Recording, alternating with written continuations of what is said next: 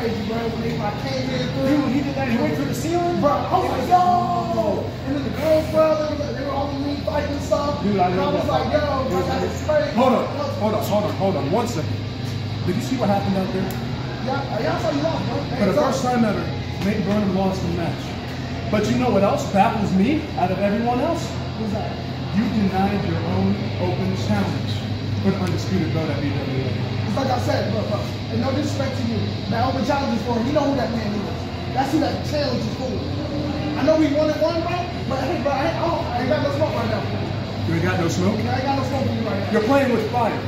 Do you know who I am? Yeah, I know you are not beating you. Okay, well, I'll beat you again. Put your belt on the line. Don't let the BWA universe down. You know they would love to see me with you in the shape again. With who? You. Stop playing with me you something. You know what's up. You, I know what's up. You got it. I know you got it. Oh,